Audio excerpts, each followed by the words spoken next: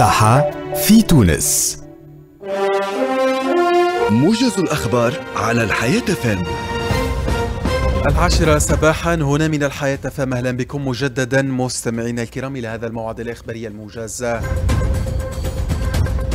تراجع العجز التجاري لتونس خلال الشهرين الأولين من سنة 23 و2000 إلى 2358.5 مليون دينار وتراجع إلى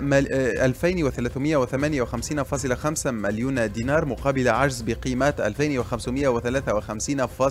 2553.9 مليون دينار خلال الشهرين الأولين من السنة الماضية وذلك وفق ما أكده المعهد الوطني للأحصاء.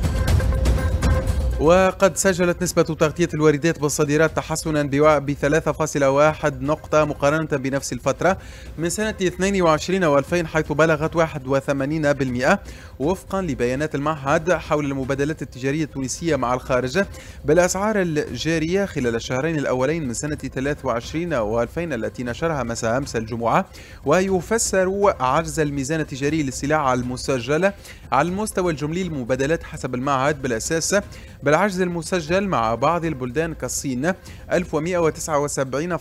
مليون دينار وتركيا 471.7 مليون دينار والجزائر 974.5 مليون دينار وروسيا 400.1 مليون دينار وأوكرانيا 288.6 مليون وفي المقابل سجلت المبادلات التجارية للسلع فائضا مع العديد من البلدان الأخرى وأهمها فرنسا بقيمة 958.6 مليون دينار وألمانيا 591.8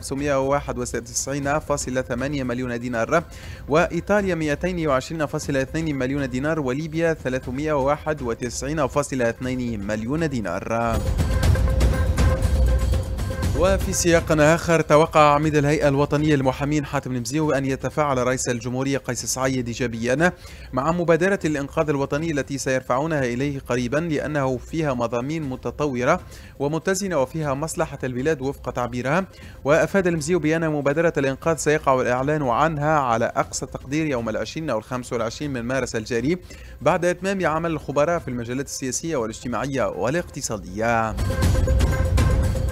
وقال عميد المحامين بأن في مبادرة الإنقاذ مضامين الاقتصادية والسياسية والاجتماعية فيها حلول واقتراحات في مصلحة البلاد وليس الهدف منها أن نحل محل سلطة أخرى.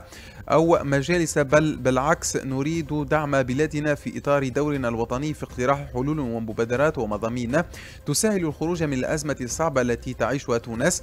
واعتبر عميد الهيئة الوطنية للمحامين التونسيين بأن التفكير في تقديم هذه المبادرة جعله يلمس في الفترة الأخيرة العديد من الإيجابيات على مستوى تتبع الفساد الاقتصادي. وبدأت الدولة تسرع نحو بعض الحلول الاقتصادية غير أن هناك من ناحية أخرى سلبيات في الحقوق والحريات وهناك المرسوم الرابع والخمسين على حد تعبيرها. ويقف وراء مبادرة الإنقاذ الوطني كل من الاتحاد العام التونسي للشغل والهيئة الوطنية للمحامين والرابطة التونسية للدفاع عن حقوق الإنسان والمنتدى التونسي للحقوق الاقتصادية والاجتماعية.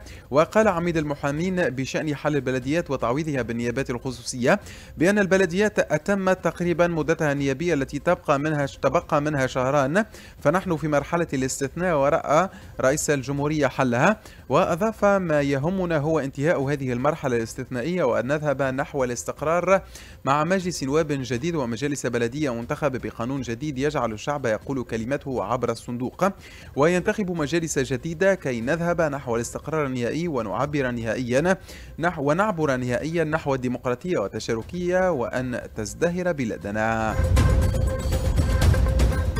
صدر أمس الجمعة بالعدد الأخير من الرائد الرسمي للجمهورية التونسية الأمر عدد 206 لسنة 23 و2000 والمؤرخ في السادس من مارس الجاري والقاضي بالموافقة على عقد المساعدة المبرم بين تونس والمؤسسة الألمانية القروذة من أجل الأعمار في إطار برنامج تحسين نظام التخزين والنقل والوقاية من الفيضانات في تونس.